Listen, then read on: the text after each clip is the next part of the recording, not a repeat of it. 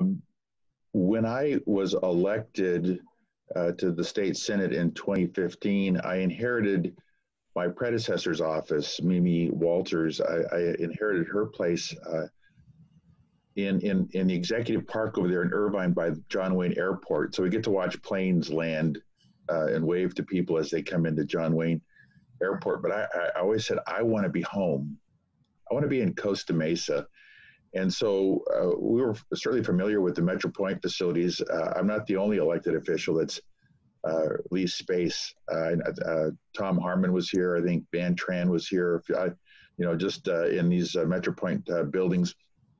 So when there was an, an opening available, we were able to get permission from the state senate, and I am now home.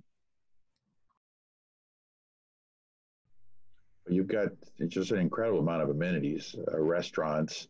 Uh, you've got uh, the mall. You've got uh, Metro-Pointe. Uh, there, there's, you know, the issue is when you want to do lunches, it's not like you're limited.